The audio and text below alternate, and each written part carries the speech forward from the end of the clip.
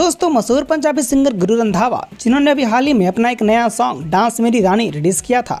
जहाँ दोस्तों, इस सॉन्ग में हमें गुरु रंधावा के अपोजिट नोरा फतेही नज़र आई थी तो वहीं दोस्तों, जल्दी गुरु रंधावा पाजी अपना एक और नया सॉन्ग रिलीज़ करने जा रहे हैं, जिसका टाइटल है, मैं चला।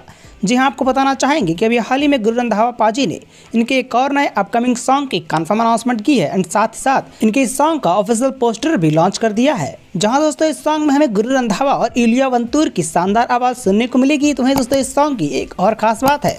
और वो ये है कि इस सॉन्ग में हमें the mega star Salman Khan और साउथ इंडियन सिनेमा की सुपर एक्ट्रेस प्रज्ञा जायसवाल भी इसी सॉन्ग मैं चला में फीचर होती नज़र आएँगी। जी हाँ आपने बिल्कुल सही सुना, जहाँ इस सॉन्ग में गुरु रंधावा और इलिया वंतूर अपनी शानदार आवाज़ देंगे तो वहीं इस सॉन्ग में हमें सलमान खान और प्रज्ञा जायसवाल दोनों एक साथ देखने को मिलेंगे। बात करेंगे दोस्तों इस सॉन्ग मैं चला के क्रेडेंशियल्स की तो आपको बता दें कि इस सॉन्ग के कम्पोजर एंड लिरिक्स एक्सपर्ट है साबिर अहमद। तो इस सॉन्ग को डायरेक्ट कर रही है सबीना खान।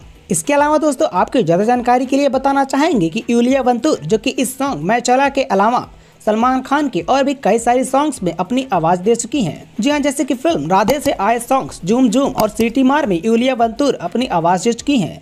इसके अलावा फ़िल्म रेस थ्री, जिसमें हमें सलमान खान और जैकलिन फर्नांडेज लीडिंग कास्ट के रूप में नज़र आई थी तो इस मूवी से आए सॉन्ग सेल्फिस में यूलिया बंतूर अपनी आवाज़ दे चुकी हैं। और अब हमें गुरु रंधावा और यूलिया बंतूर की आवाज़ में ही इनका नेक्स्ट सॉन्ग मैं चला भी देखने को मिल जाएगा, जिसमें हमें सलमान खान और प्रज्ञा जायसवाल नज़र आएँगी।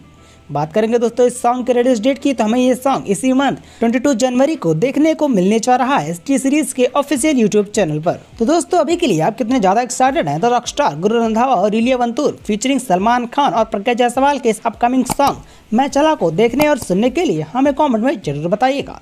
वीडियो अच्छी लगी हो तो वीडियो को लाइक और शेयर करना मत भूलिएगा। हम मिलते हैं आपसे हमारी अगली वीडियो में एक और नई अपडेट के साथ। तब तक के लिए take care and peace out